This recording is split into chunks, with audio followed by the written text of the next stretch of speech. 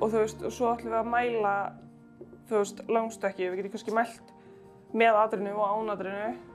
Það sem við erum að gera í þessum áfanga er bara að rauninni að komast inn í hugarheim þjálfarans og erum bara að aðeins að fá að skoða hvað þeir eru að gera og hvernig þeir hugsa.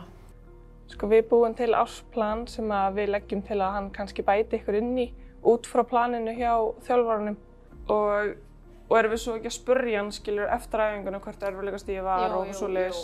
Við ætlum bara að taka tíman á sprettunum hans og, og mæla stökkinn hans til að sjá hvort að þetta sé að ganga eftir hjá honum.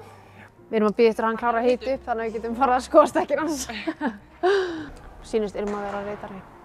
Því líkur rakari. Þetta var ekki ógilt. Hann hitti bara mjög fínt. 6. 6.41, Hann stökk aðeins stýttir náðan, 6.50. Já, ef við þá ekki að gera þetta púlstót. Ari, hvað er?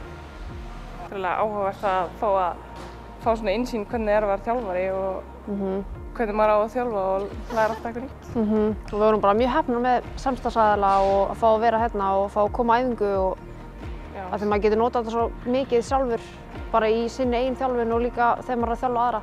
Þetta voru að geða ekki alvan.